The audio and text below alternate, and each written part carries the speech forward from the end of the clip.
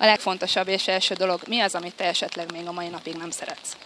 A mai napig nem szeretem a tengeri sünt, meg néha azért a mazsolát sem csípem annyira, tehát meg kell találni azt a formáját a mazsolának is, ahogy megegyem. És mi az a forma? Ezt elárulod nekünk? Az új könyvemben van egy nagyon jó pofa zapkex, amiben egy kevés cukorral elturmixoljuk, felaprítjuk a mazsolát, és konkrétan egy pép lesz belőle, és teljesen eltűnik. Mi a tipped a sárga borsó nem kedvelőinek?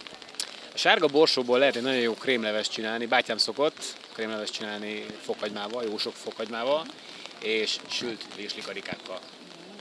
Ez egész csábítól hangzik, lehet, hogy kipróbálom.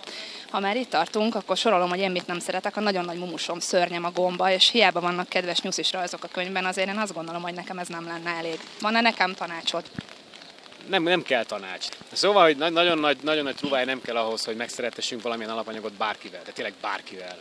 Ennél a gombás ételnél az volt a célom, hogy elsúnyogjuk a gombát, eltüntessük egy tésztába, egy leveles tésztába sütöttük bele, és csináltunk hozzá egy medvehagyma mártást. Hogyha nincsen szezonja a medvehagymának, és nidlinger is tök jó, és azt mondták a srácok, ez teljesen egyszerűen csak ez egy visszaforralt, egy, egy beredukált, egy redukált tejszín, és abban van elturmixolva a zöld fűszernövény, és azt mondták a srácok, hogy hát most már így magában is megenném ezt a gombás tésztát, de ezzel a mártással nagyon jó. Tehát nagyon fontos, hogy találjunk egy olyan, olyan kiegészítőt, vagy egy olyan plusz adalékot, amivel el tudjuk felejtetni, vagy felettetni azt a gyerekekkel, vagy bárki mással, hogy az mi. Azt hiszem, hogy ezt akkor ki fogom próbálni, és majd ahogy kérted az előadáson, fogok neked küldeni képet róla mindenképpen. Azt mondd még, légy szíves, hogy um, esetleg főző tanfolyamot gyerekek számára is indítasz, mert hogy felnőtteknek csinálsz, ha jól tudom. Hát most nyáron is szeretnénk kicsit továbbvinni mind a felnőttet, és most kipotolni a gyerekekkel.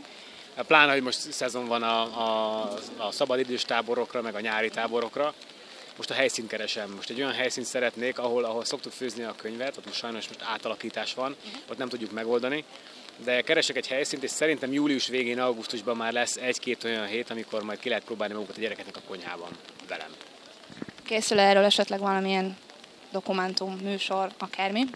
Erre még nem gondoltam, de lehet, hogy jó ötlet. Igazából azért gondoltam, mert ugye olvastam, hogy pedagógus pályára is készültél annó még ezer éve, és mivel úgy láttam, hogy elég jól tudsz benne a gyerekekkel a szigorúságod ellenére, talán adnám magát ez a további folytatás ezen a téren. Én, én azt mondanám, hogy nem szigorú vagyok, hanem következetes. Hát próbálom mindig a srácokat abba az irányba terelni, ami nekem is jó, és talán nekik is jó.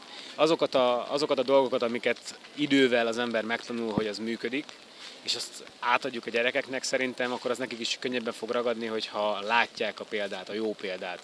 Nekem csak ennyi volt a célom, és továbbra is ez lesz a célom, és hogy ezt meg lehet oldani, akkor, akkor ezt köszönöm ezt az ötletet, akkor lehet, hogy ezt tovább fűzzük. Oké, okay, akkor kíváncsian várom, és még egy utolsó kérdés. Lokálpatrióta módon szeretném tudni, hogy össze valamikor Sopronba esetleg dedikálni. Ami biztos, hogy december elején lesz egy vacsoránk, azt tuti, de addig még lehet, hogy meg fogjuk tudni oldani. Az Erhard majd lehet, hogy elugrom, és ott csinálunk valamit közösen. Okay. Akkor nagyon szépen köszönöm, hogy az idő ellenére szakítottál ránk néhány percet, és a legjobbakat kívánom a továbbiakra. Örülök, hogy találkoztunk. Köszönöm szépen.